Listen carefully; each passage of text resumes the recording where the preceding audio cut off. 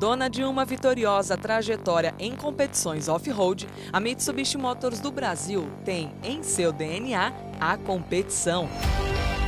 O sucesso e a qualidade na organização de várias competições em todo o Brasil chegam agora à Mitsubishi Lancer Cup, o mais novo campeonato exclusivo da Mitsubishi Motors do Brasil.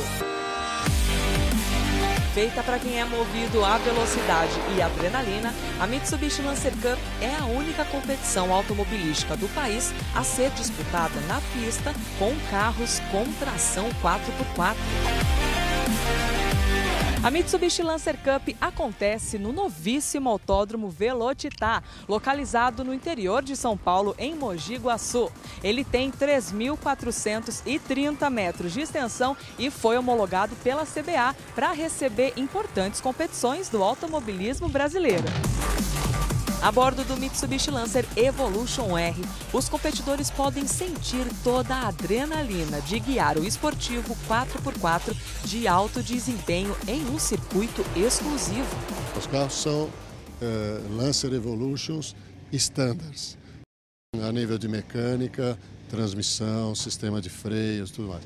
Eles têm a transformação tirando uh, todo o peso possível, as coisas que não são necessárias, e acrescentando uh, o que a regra de obriga com equipamento de segurança. E o carro realmente é um carro, a capacidade técnica, com sistema de tração nas quatro, diferencial eletrônico central. Potência, conforto e tecnologia fazem do Mitsubishi Lancer Evo R um carro completo, com excepcional desempenho para a competição em pista. Uma categoria que vem para ficar, o carro é muito gostoso, prazeroso de guiar. É uma categoria equilibrada, porque os carros são todos iguais, administrado pela própria Mitsubishi, carros da mesma marca, o mesmo motor, dependendo só dos pilotos poder fazer o trabalho de pista. E numa pista ainda maravilhosa, que é essa aqui, tá louca, muito bonita. Inspirada no lifestyle dos Gentleman Drivers, a Mitsubishi Lancer Cup é baseada no conceito Sit and Drive, em que todos os veículos são idênticos e possuem a mesma preparação.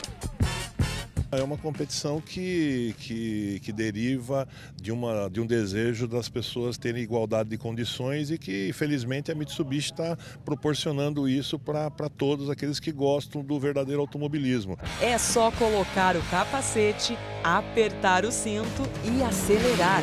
Depois que você começa a andar, parece que desliga tudo. Parece que sai toda a tensão e você se concentra lá no que você tem que fazer e acabou. São duas provas com duas etapas cada na temporada 2012 da Mitsubishi Lancer Cup. Cada prova tem 25 minutos mais duas voltas. Então nós fazemos uma prova pela manhã e uma prova à tarde, com inversão das oito primeiras posições. Os oito primeiros da primeira bateria inverte. Então o oitavo colocado passa a ser o primeiro na largada da segunda bateria. Na sexta-feira são realizados os treinos livres e no sábado a classificação seguida das duas provas.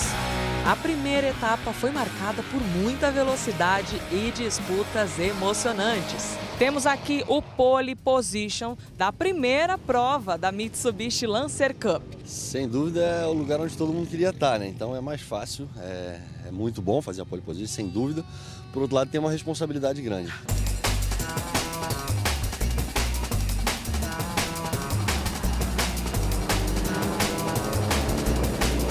Bruno Mesquita está competindo pela primeira vez e já conseguiu um lugar no pódio. O que, que você fez de especial ali na hora da competição?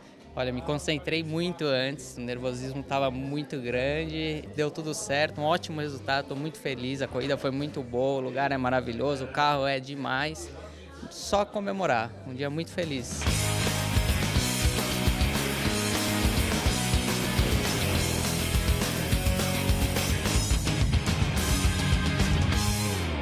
Os carros já estão alinhados, chegou o momento de saber quem vai levar a melhor na segunda prova do dia.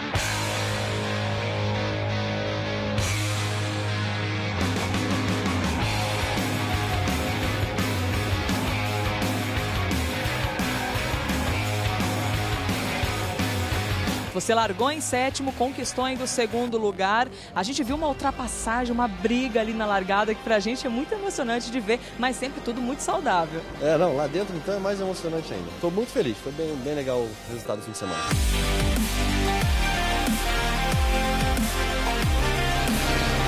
Esse é um momento muito especial. O Léo Burti é o primeiro campeão do primeiro circuito exclusivo do Lancer Evolution, o primeiro no mundo.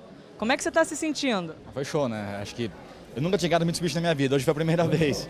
Ele deu sorte para mim, então é um baita carro, um baita autódromo. Essa vai ficar na memória, vai ficar guardada na cabeça por um tempo.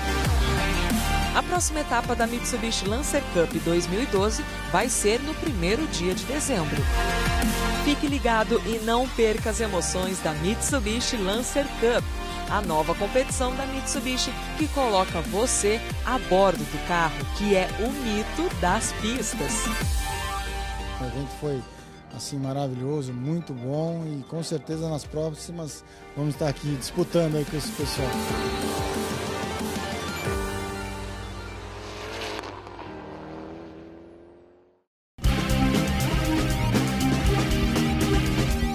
Foi o escolhido para testar a L200 Triton Savana 2013. E o local que ele reservou para essa aventura é o interior do Brasil, 2.300 quilômetros no circuito dos Diamantes e parte da Estrada Real. Fernando Paiva voltou cheio de riqueza na bagagem. É um prazer falar com você, Fernando. Obrigado.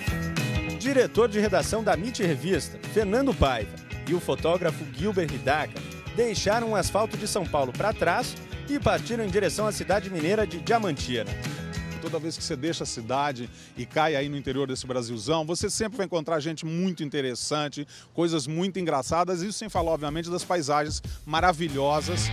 Para chegar à bela Cachoeira do Telésforo, no distrito de Comendador Mata, a dupla contou com as características off-road da nova L200 Triton Savana. Vários carros atolam lá, entendeu? É um lugar de areia muito fina, muito fina, porque é areia de, de, de fundo de rio. Mas uh, eu, além de engrenar a tração 4x4 no carro, obviamente eu me precavi, botei a reduzida, que aumenta demais a força do carro. A Savana, nessa hora, ela vira realmente um trator. Joguei a segunda marcha, porque você nem precisa usar a primeira, e aí já entrei na praia para sentir, entendeu?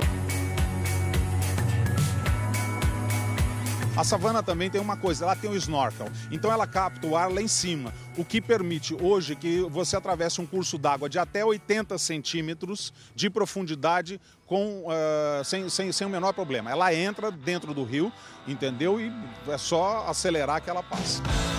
No dia seguinte, Paiva e Gilbert seguiram viagem rumo à cidade histórica do Cerro.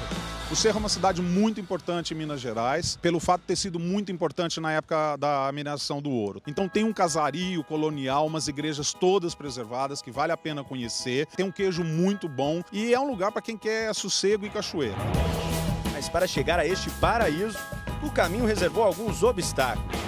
Fernando, agora eu queria usar até uma expressão sua, dirigir como se estivesse em um cânion. O que quer dizer isso, Fernando? Era a velha estrada de terra, estrada real, que eles foram patrolando, passando né, é, trator, passando patrola, passando patrola, e obviamente a, a estrada foi baixando. Isso fez com que você dirija hoje é, em, em, com barrancos que chegam a 5, 6 metros de altura, entendeu? E não tem acostamento, mal passam dois carros. Foram quatro dias percorrendo o interior de Minas Gerais e colecionando boas lembranças. Aí a gente chegou em São Gonçalo Rio das Pedras, que é outra cidade nesse caminho, né, na Estrada Real, e tem uma venda lá, entendeu? Onde o sujeito tem uma série de cachaças com nomes exóticos. Isso é, para quem coleciona cachaça, conhece, que é, é Providência, atitude. Então o cara chega lá e fala assim: hoje eu não vou beber, hoje eu vou tomar uma previdência, entendeu? Hoje eu vou tomar uma atitude. Aí vira pro cara e fala: Ô Zé, vê aí uma atitude pra mim. Aí o cara vai lá e serve a atitude. Ao final de 2.300 quilômetros percorridos, a dupla trouxe muitas histórias na bagagem e comprovou todo o espírito aventureiro da nova L200 Triton Savana 2013. A L200 Savana, ela é um projeto inteiramente nacional. Não existe Savana no mundo, tá? Isso foi um projeto desenvolvido pela é, Mitsubishi Motors do Brasil. É um carro para quem gostasse mais de aventura. Essa nova geração, o carro tá, tá super confortável, é super bem acabado.